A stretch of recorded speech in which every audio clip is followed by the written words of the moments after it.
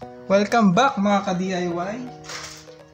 For today's video, gawa tayo ng 126 pesos power bank. Ayan, ito yon, ito yung 126 pesos power bank.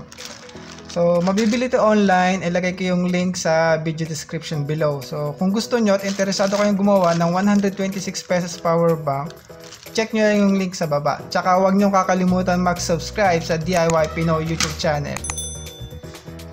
So, bakit 126 pesos lang? Kasi kung naalala nyo to sa previous video, libreng battery.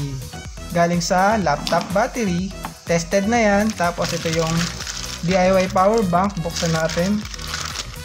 Ito lang yung laman niya pag binili mo. Plastic tapos yung power bank. So, ito yung charging module.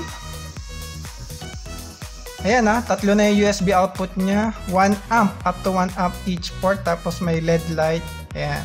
Parang normal na power bank lang. Ang ano lang, wala siyang battery. Tayo yung maglalagay ng battery sa loob. So, yan, ganyan siya guys. Ay, ganyan siya mga ka-DIY. So, okay, simulan natin.